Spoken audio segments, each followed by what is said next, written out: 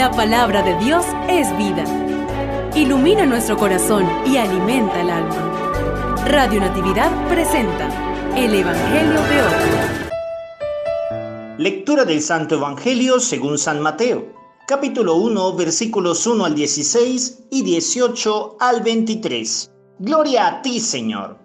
Genealogía de Jesucristo, hijo de David, hijo de Abraham. Abraham engendró a Isaac Isaac a Jacob, Jacob a Judá y a sus hermanos.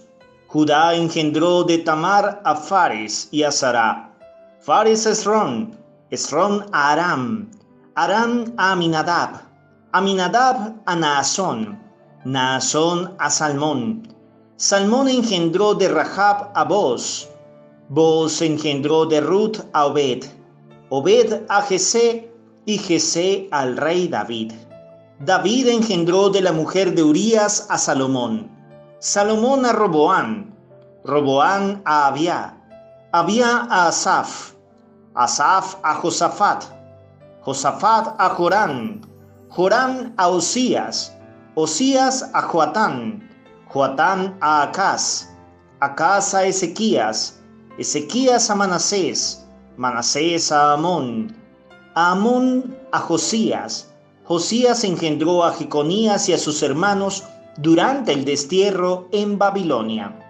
Después del destierro en Babilonia, Jeconías engendró a Salatiel, Salatiel a Zorobabel, Zorobabel a Abiud, Abiud a Eliakim, Eliakim a Azor, Azor a Sadoc, Sadoc a Akim, Akim a Eliud, Eliud a Eleazar, Eleazar a Matán, Matán a Jacob y Jacob engendró a José, el esposo de María, de la cual nació Jesús llamado Cristo.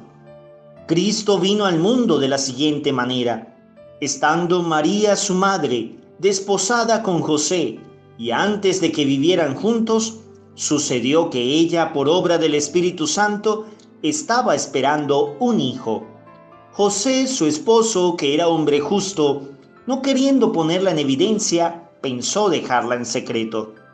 Mientras pensaba en estas cosas, un ángel del Señor le dijo en sueños, José, hijo de David, no dudes en recibir en tu casa a María, tu esposa, porque ella ha concebido por obra del Espíritu Santo.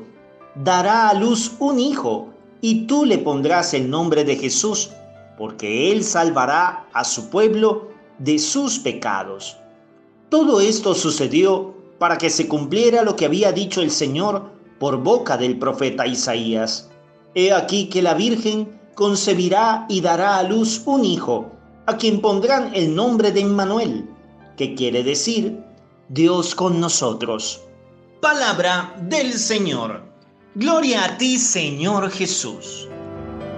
Un saludo de paz y bien para todos aquellos que nos escuchan a través de Radio Natividad, la emisora católica del Táchira, donde somos parte de la buena noticia de Jesús en tu vida.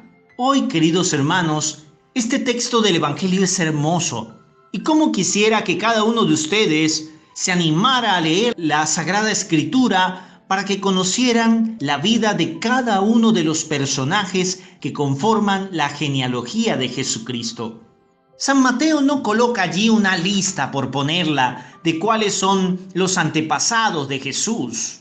San Mateo coloca una genealogía, una historia de hombres y mujeres, una historia con Dios que cada uno tuvo de guerras, de batallas, de debilidades, de tropiezos, de pecados, de virtudes, de fortalezas, que los llevaron a ganarse a Cristo en sus vidas, a formar parte de la genealogía de Cristo.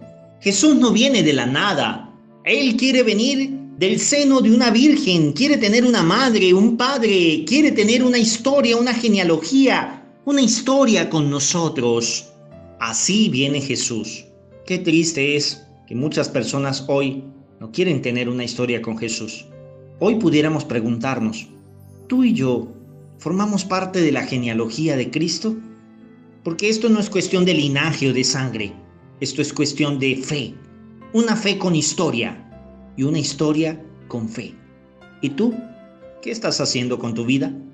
No olvide las etiquetas, los sacerdotes buenos somos más y yo tengo un amigo sacerdote. Dios te bendiga. Gloria al Padre y al Hijo y al Espíritu Santo, como era en el principio, ahora y siempre, por los siglos de los siglos. Amén.